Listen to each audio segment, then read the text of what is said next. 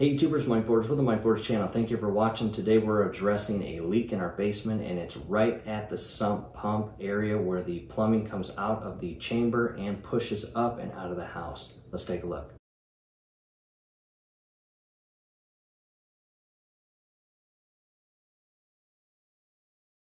Our YouTubers downstairs in the utility room where the furnaces, the water heater, and our sump pump and the radon system as you can see here. So let's get right to talking to it. As you can see, I've got a blue wet towel on the concrete floor. We just recently had our radon system converted from a passive system to an active system. And part of that project is sealing the sump pump area. As you can see here, there is a clear cap on top and it is sealed by silicone. And unfortunately, during that project, we also had our sump pump replaced. But during that replacement, you have to remove this plumbing from the sump pump itself, which is way down there, as you can see here, that green sump pump way down there. But as the technician was removing the sump pump from the plumbing, he accidentally caused a leak at this portion right here. So as I feel under there, my fingers get wet. And this rubber seal right here is clamped down. So I'm not sure if the technician loosened this clamp as he was working with the plumbing. However, at this point, the clamp is tightened and secured, but there is still a leak. So as the sump pump chamber fills up with water to a point where the sump pump turns on,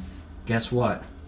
As the sump pump pushes water up the plumbing and out of the house, it sprays at this point. So to fix that, Again, just carefully spend a minute or two and loosen up this clamp with a flathead screwdriver and maneuver this rubber boot back onto the check valve if that's where yours is leaking and then tighten down the clamp and hopefully that will fix your leak. In addition, unfortunately, one more thing I found as I was looking at it, additional water down to the right. And previously, there was a solid black cap on here you could not see down in the sump pump chamber. And the technician had to cut that off, and you can see a bunch of the shavings right here.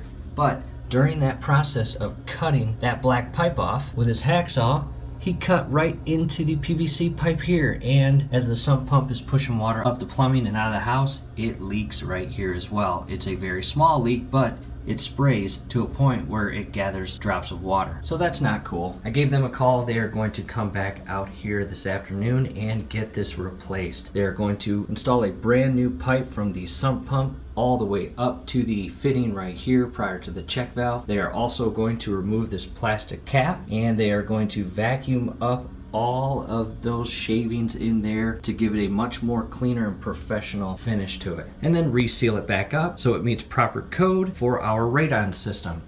And as you can see here, the radon pipe, in most cases it's three to four inches in diameter, and it has to be sealed to prevent any radon gases from coming up out of the ground and into your house. So check your plumbing and your fittings and verify everything is secured.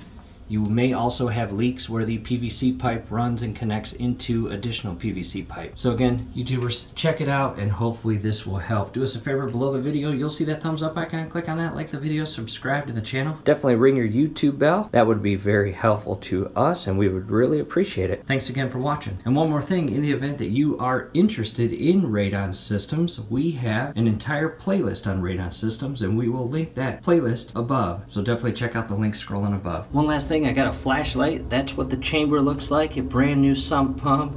And there's where the plumbing connects to the sump pump. That will have to be replaced right where it comes out of the sump pump and again all the way to the check valve fitting.